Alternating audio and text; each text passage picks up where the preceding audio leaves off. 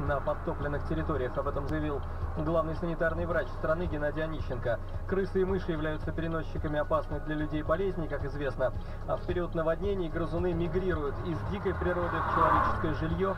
Там они находят пропитание и спасаются от воды. Экономика Египта страдает от резкого сокращения потока туристов. За последнюю неделю количество прибывающих пассажиров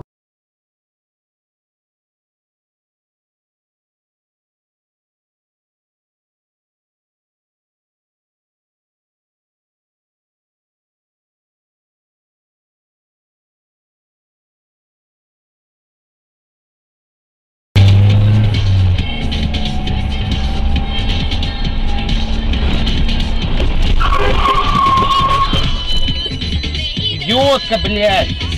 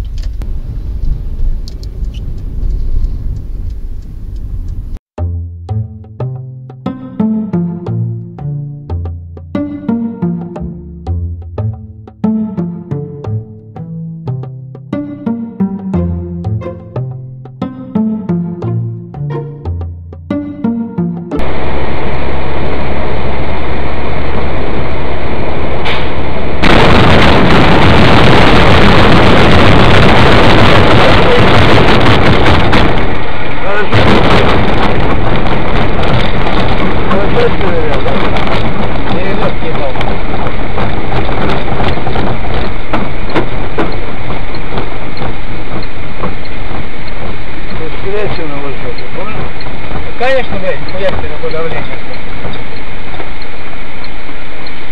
Австралия, правильно? 10 часов до Сингапура. А тут, а тут, а, а, а потом, а потом еще там 10 часов. Зачем это, Настя? Израиль.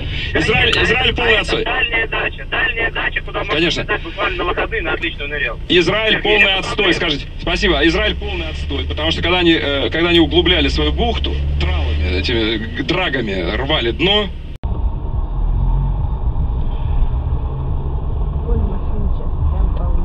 Ой-ой-ой-ой-ой. Ля, и уехал. Вот то да. Вот зараза. Ой-ой-ой-ой-ой-ой-ой.